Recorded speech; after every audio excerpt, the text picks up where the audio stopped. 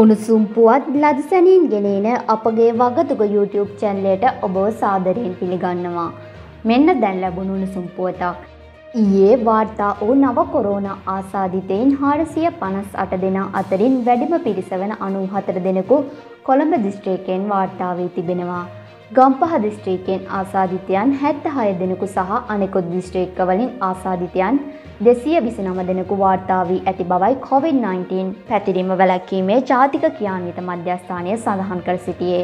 ත්‍රිවිධ හමුදාව මගින් පාලනය වන නිරෝධායන මධ්‍යස්ථාන අනුපහක් තුළ තවදුරටත් පුද්ගලයෙන් දහදස් හැත්ත පහක් නිරෝධානය වෙමින් පවතිනවා. මෙවැනි මොනුසුම් පුවත් ලදසැනින් දැනගැනීමට වගතුක YouTube චැන්ලය සබස්ක්‍රයිබ් කර බෙල් අයිකනය ක්‍රියාත්මක කරන්න.